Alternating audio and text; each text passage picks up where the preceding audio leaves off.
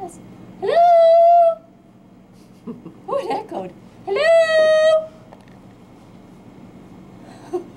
And now for and now for Jerry's and now for one of Jerry's kids.